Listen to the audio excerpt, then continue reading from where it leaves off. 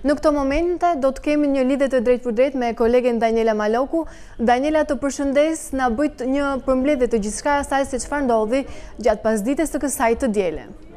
Bruna të përshëndes, në fakt do doja që ta nisja me deklaratën e pak çasteve më parë të zotit Kadilli, i cili u bë zyrtari i parë nga Partia Demokratike, i cili doli publikisht pas mbarimit të mbledhjes gati disa orëshe, le themi më shumë se katër orë për të deklaruar se Partia Demokratike do të shkojë në 13 qershor drejt zgjedhjeve për kryetarin e ri të partisë. Në fakt kanë qenë orë të gjata këto të ditës së sotme Bruna ku është mbledhur kryesia e Partisë Demokratike fillimisht dhe më pas Këshilli Kombëtar ku nuk kanë munguar në fakt edhe debatet. Për ta nisur në hark kohor, le themi për rreth 2 orë e 30 minuta, mbledhja e kryesisë, e cila nisi pra rreth orës 17 të ditës së sotme, dhe zgjati rreth më shumë se sa 2 orë, pra rreth 3 orë, pati debate duke patur parasysh vetë faktin që kryedemokrati Lulzim Basha u përball për herë të parë me një prej kritikëve më të ashpër të tij, Zoti Fatbardh Kadilli, i cili i kërkoi edhe një herë përballë dhënien e dorëheqjes si një akt i cili zoti Basha duhet ta merrte për të marrë dhe për të shprehur kështu atë çka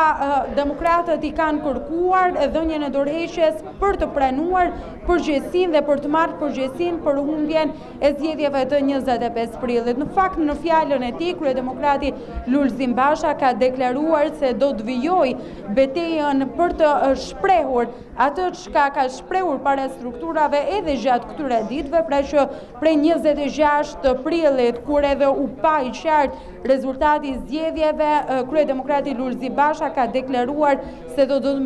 marrë çdo nismë ligjore për të vërtetuar atë që ai e konsideron masakër zgjedhore dhe i ka kërkuar edhe vetë demokratëve që të jenë të bashkuar, por kjo Nuk ka mjaftuar pasi zoti Kadilli i ka kërkuar atij që të japë dorëheqjen. Në fakt ditën e sotme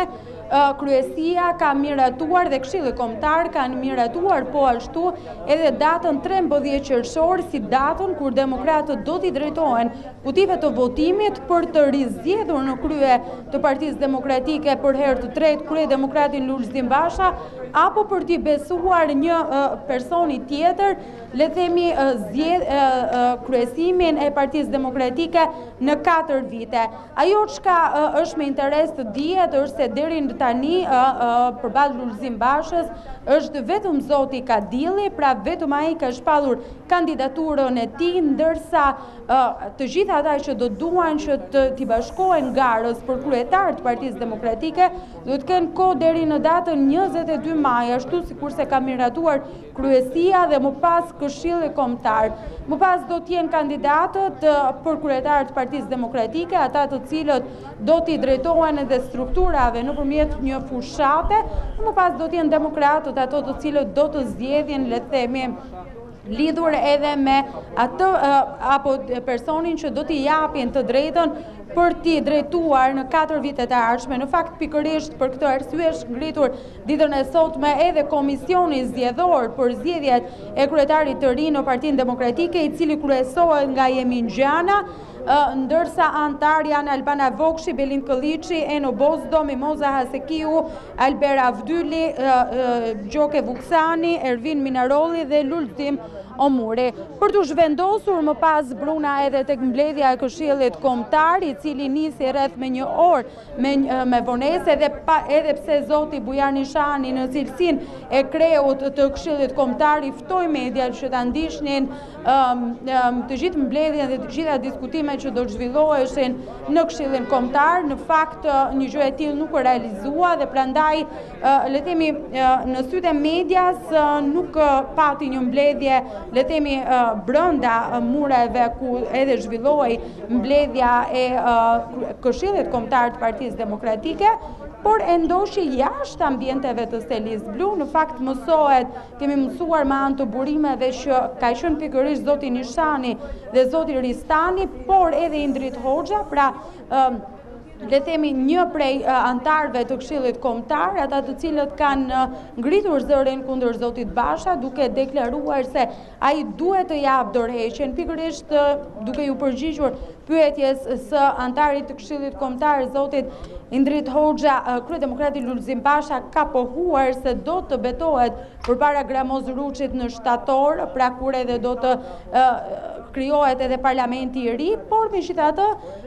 duhet patur parasysh që po ashtu i është kërkuar edhe nga këto anëtarë që të japë dorëheqjen. Zoti Basha nuk ka pranuar të bëjë një gjë të tillë, ashtu sikurse deklaroi edhe zoti Fatbardh Kadilli gjatë deklaratës së tij pak më parë, por Tashmë ka një datë pra kur demokratët do t'i drejtohen kutive të votimit për të zgjedhur edhe kreun e ri të tyre. Po Bruna? Daniela, na shpjego të lutem se si do funksionojë, zoti Basha duhet të japë dorëheqjen që të garojë për kreun e ri të Partisë Demokratike apo mund të vazhdojë edhe gjatë kohës që ai e mban këtë post? Sikurse e ndoqëm edhe nga fjala e anëtarit të kryesisë së Partisë Demokratike, zotit Fatbardh Kadilli, i cili pra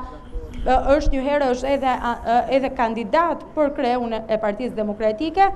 nuk ka patur një dëgjim zërash nga ana e zotit Basha për sa i përket zërave kritik që i kërkojnë atij të japë dorëheqjen. Në fakt, Bruna duhet deklaruar, duhet thënë, po, dhe duhet sqaruar se dorëheqja e zotit Basha do të ishte vetëm një akt politik dhe jo një akt që duhet të ndiqet nga ana e tij në rast se do të ketë një datë të re zgjedhjesh pasi mandati i kryedemokratit Lulzim Basha, le themi përfundon në datën 22 korrik të këtij viti, kohë kur mbushen edhe katër vite nga marrja e mandatit të dytë në krye të Partisë Demokratike.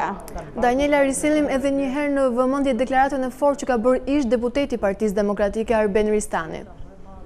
Në fakt, zoti Ristani ka deklaruar dhe ka kritikuar në një farë mënyre kryedemokratin Lulzim Basha lidhur me uh, qëndrimet e këtij të fundit uh, në rast se do të vidheshin votat Pasi pretendimi i zotit Basha se votat janë vjedhur, në fakt nuk janë të mjaftueshme, qoftë për zotin Ristani, por qoftë edhe për anëtarët e tjerë të Këshillit Kombëtar, të cilët kanë, le themi, kanë qenë kritikë ndaj kryedemokratit Lulzim Basha. Ai ka deklaruar se nuk mund të përdoret si argument shit, le themi, shitblerja e votës për të për të justifikuar edhe humbjen nga ana e Partisë Demokratike, por ky i fundit duhet të mbante fjalën që kishte dhënë. Të falenderoj Daniela për gjithçka që ke përcjellë në studion e Report TV.